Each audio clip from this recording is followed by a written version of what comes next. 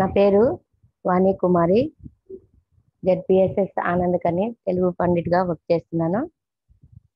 పిల్లలు చిల్లలు పిల్లలు అందరికీ శుభాశిస్సులు. ఇక్కడ మనం చూస్తున్న ఈ బొమ్మలో ఎవరెవరు ఉన్నారు? ఉపాధ్యాయురాలు విద్యార్థులు ఉన్నారు. ఇక్కడ మనకి ఈ- ఈ పద్యం ఒక పద్యం బోర్డు మీద రాసింది కదా. ఆ పద్యం ఏంటది? పూజ కన్ననంచ బుద్ధి ప్రధానంబు మాట కన్న నెంచ మనసు దృఢంబు కులము కన్న మిగుల గుణము ప్రధానంబు విశ్వదాభిరామ వినురవేమ. ఈ పద్యము వేమన శతకంలోనిది. ఇది మనకి ఏ సందేశాన్ని ఇస్తుంది? మనం పూజలు చేస్తాము. చిత్తశుద్ధితో చేయలేని శివ పూజలు ఎలా అంటారు. అలాగే మనం పూజ చేస్తే పూజ కన్నా కూడా మన బుద్ధి ప్రధానంగా ఉన్న ప్రధానం అంటే ఏంటి? మంచి మంచి మనసు కలిగి ఉండాలి. మన బుద్ధి ఎలాంటి అవాంతరాలకు లోటు రానికుండా కలిగి ఉండాలి. అదేవిధంగా మాట కన్నా నుంచే మనసు దృఢము. మాట్లాడడం పైకి మంచిగా మాట్లాడడం కాదు. మనసులో కూడా అదే విధంగా దృఢంగా మనం ఉండాలి. నిశ్చలంగా ఉండాలి. మనం చేసే పనులు ఏదైనా నీతిగా నిజాయితీగా కలిగి ఉండాలి. కులము కన్నా మిగులు గుణము ప్రధానము. ఏ కులము అని మనం ఆ కులము ఈ కులము అని కాదు.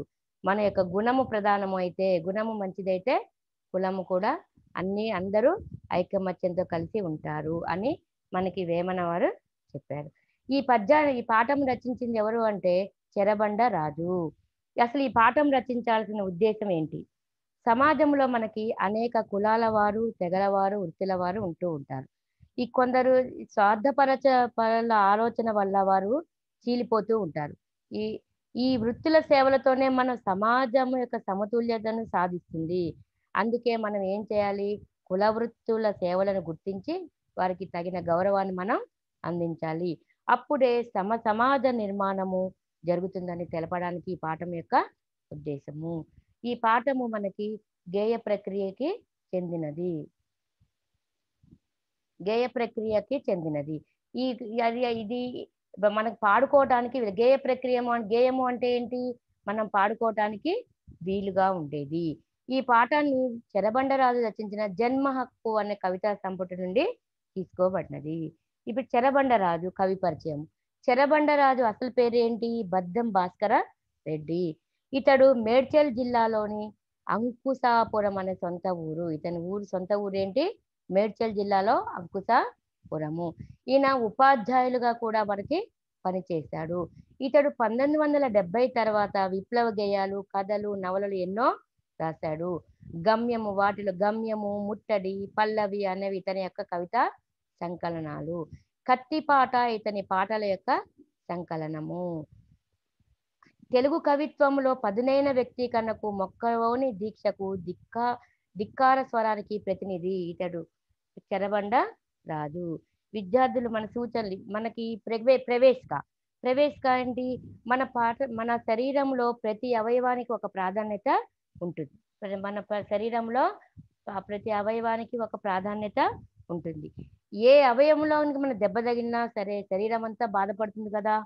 అలాగే అవయవాలన్నీ కలిసి పనిచేసినప్పుడే మన శరీరం కూడా ఆరోగ్యంగా ఉంటుంది. అదేవిధంగా కుటుంబం అభివృద్ధికి గ్రామాన్ని అభివృద్ధికి దేశాభివృద్ధికి అందరూ కూడా ఎలా ఉండాలి? కలిసిమెలిసి ఉండాలి. అప్పుడు ఐకమత్యంతో కలిసిమెలిసి ఎవరి బాధ్యతలను వారు నిర్వర్తిస్తూ ఉంటేనే అప్పుడే మనం అందరం కూడా ఒకే జాతి ఒకే మతం మనమంతా భారతీయులం అనే భావన మనలో ఉంటుంది. అందరు కులాలు వేరైనా వృత్తులు వేరైనా సరే మనం ఎలా ఉండాలి? ఐకమత్యమే మహాబలం అంటే ఒకే జాతి మనమంతా కూడా భారతీయులం అని తెలిసి ఉండాలి. ఈ పాఠాన్ని మనం చదివి తెలుసుకుందాము. ఈ పాఠము గేయానికి చెందింది కాబట్టి మనం ఎలా ఏ విధంగానైనా మనం పాడుకోవడానికి వీలుగా ఉంటుంది. ఎలా పాడుకున్నా సరే మనం ఈ గేయాన్ని మన రాగయుక్తంగా ఎలాగైనా మనం పాడుకోవచ్చు.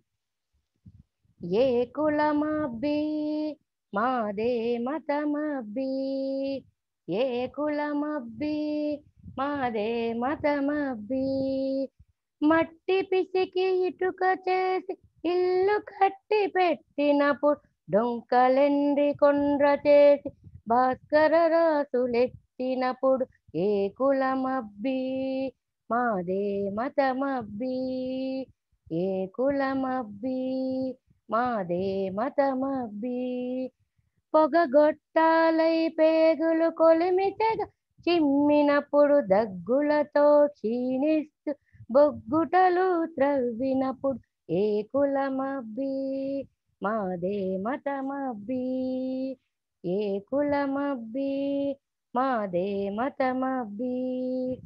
మాడు చెక్కలే తింటూ మాగానం దున్నినప్పుడు ఎండలలో బండలపై విగ్రహాలు చెక్కినప్పుడు ఏ కులమబ్బి? మాతే మతమబ్బి. ఏ కులమబ్బి? మాదే మతమబ్బి. పూజకు అందించు పూల పూల బుట్టలల్లి ఇచ్చినప్పుడు రామకోటి రాసుకునే కాగితాలు చేసినప్పుడు పూజకు అందించు పూల బుట్టలల్లి ఇచ్చినప్పుడు రామకోటి రాసుకునే కాగితాలు చేసినప్పుడు ఏ కులమబ్బి? మాదే మతమబ్బి.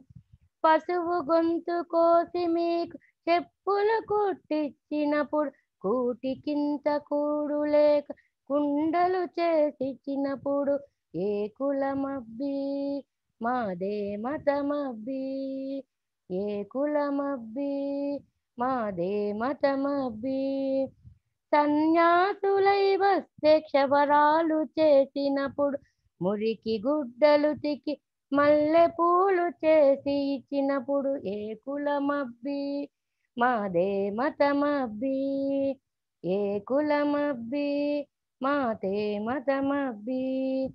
చల్లవు మీ కల్లబుల్ కబుర్లన్నీ చెదలు పట్టి ఆగదు మీ పాత రథము విరిగిపోయినది ఏ కులమబ్బి? మాదే మతమబ్బి. కులాలని కులములో శాఖలని వేరు చేస్తే చెమటోర్చి మనుషులము చేయి కలిపి నిలబడితే ఏ కులమబ్బి? మాదే మతమబ్బి.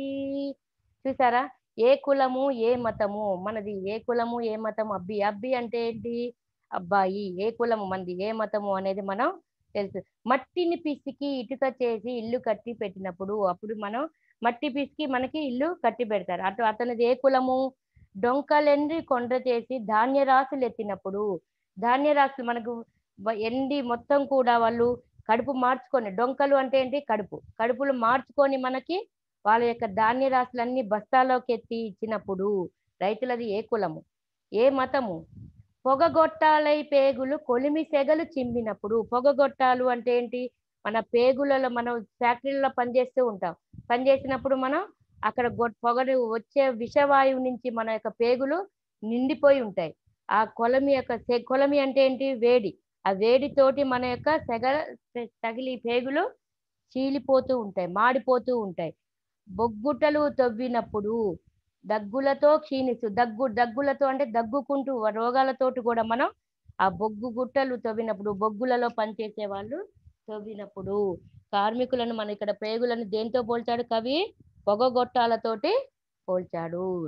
మాడు చెక్కలే తింటూ మాగాణం దున్నినప్పుడు వాళ్ళు మాడిపైన అన్నమే తినుకుంటూ మాగాణము అంటే ఏంటి? వరి పొలం వరి పొలాన్ని మనం దున్నినప్పుడు ఎండలలో బండలపై విగ్రహాలు చెక్కినప్పుడు శిల్పి ఏం చేస్తాడు? ఒక రాయి ఉంటుంది. అది మనం రాయే అనుకుంటాం. కానీ దానిని చక్కగా తీర్చిదిద్ది ఒక బొమ్మలాగా తీర్చిదిద్ది మనకి అందిస్తాడు. మన వల్ల అవుతుంది అది? మనం చేయలేం. మన దగ్గర డబ్బులు ఉన్నా సరే మనం ఏమీ చేయలేము మనకి ఇలాంటి వృత్తుల వారు చేసే దాని వల్లే మనము జీవిస్తూ ఉన్నాము. కాబట్టి మా మనకి వరి రైతు పంట పంట పండించకపోతే మనం ఏం చేస్తాము? అన్నం తినలేము. మన దగ్గర డబ్బులు ఉంటే డబ్బులు తింటామా? తినలేము. అదే విధంగా మాడు చెక్కలే తింటూ మాగాణం దున్నినప్పుడు ఎండలలో బండలపై విగ్రహాలు చెక్కినప్పుడు. అప్పుడు వాళ్ళది ఏ కులము? శిల్పిది ఏ కులము? రైతులది ఏ కులము? ఏ మతము ఏ కులము? పూజకు అందించు పూలు బుట్టలల్లి ఇచ్చినప్పుడు. పూజకి పూలు బుట్టలల్లే వాళ్ళు. మేదర వాళ్ళు ఉంటారు చూస్తారా మేదర వాళ్ళు బుట్టలల్లి మనకి ఇచ్చినప్పుడు వాళ్ళది ఏ కులము? మనం ఆ బుట్టల్లోనే మనం దేవుడికి పూలు పట్టుకొని గుడికి వెళ్తూ ఉంటాము. అప్పుడు మనం ఏమైనా కులం అని అనుకుంటామా? అనుకోము. రామకోటి రాసుకునే కాగితాలు చేసినప్పుడు మనకు చాలా మంది శ్రీరామ శ్రీరామ అని ఒక పుస్తకంలో రాసుకుంటూ ఉంటాం ఆ కాగితాలు తయారు చేసింది ఎవరిది? ఏ కులము?